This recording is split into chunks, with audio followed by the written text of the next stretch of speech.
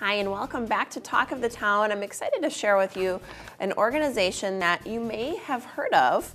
It used to be called Friends of Ferals, and I'm joined by Colin, who is the director of what is now the Madison Cat Project. Thanks for being with us. Yeah, thanks for having me. I'm glad to learn a little bit more. And now, this organization has actually been around for quite a while, but when it began, it was Dane County Friends of Ferals, and so a lot of people might know it as that.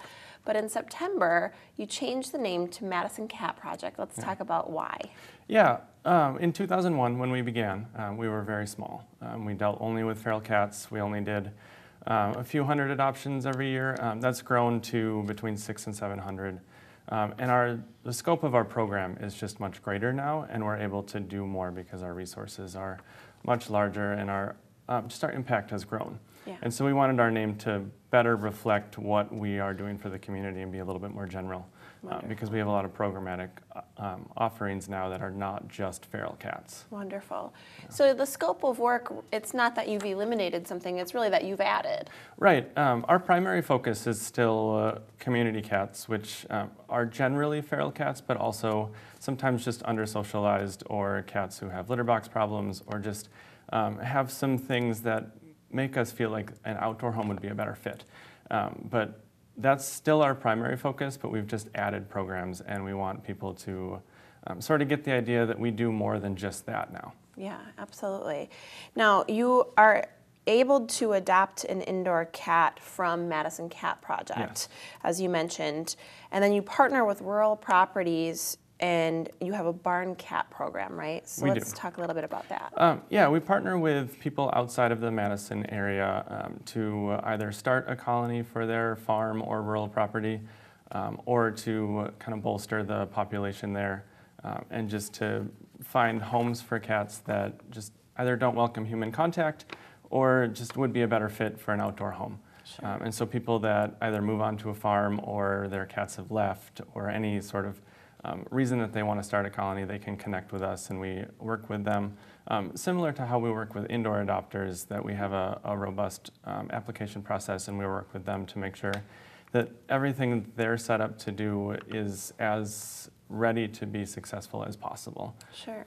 This is an interesting topic because I haven't thought much about how different cats can be and how the environment really could be suitable or very unsuitable for them if, if they've got a certain personality. Yeah. Uh, and I think for people too, when they're adopting a cat, they might want to meet the cat first and, and sort of experience some of the things that you've probably already figured out, but can they do that?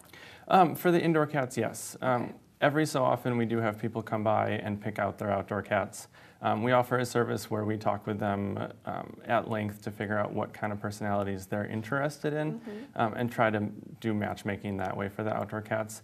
A lot of our outdoor adopters through our barn cat program don't really care what the personality of the cat is. They just want some um, rodent control or um, just some help on their farm. Sure. Um, and so we have people who really want to interact with those cats and will want to come and meet them, and some people who just want us to pick for them. And, and so we try to um, tailor that service to whatever they're looking for. Oh, wow, really interesting. And do you have other programs as well? We do. Um, we have a once a month uh, spay day program that we partner with Madison College and the University of Wisconsin Veterinary Program um, to do a high volume spay neuter clinic once a month for um, rural properties that need some help that way. Um, and then we have an affordable spay neuter program um, at our shelter Monday through Friday, which is more geared toward people with um, one or two cats, indoor cats that they need um, an affordable option for. Um, and so we offer a, a couple different spay neuter programs as well. Wow, really great stuff that you guys are doing. Uh, we've had some information on screen throughout the interviews letting people know how they can get in touch with you, but let's talk about support. How can people support you? The two greatest way people, greatest ways that people can support us are through volunteering and uh, donating money. Sure. Um, and both of those things, um, information can be found on our website either to apply to volunteer or to make a donation.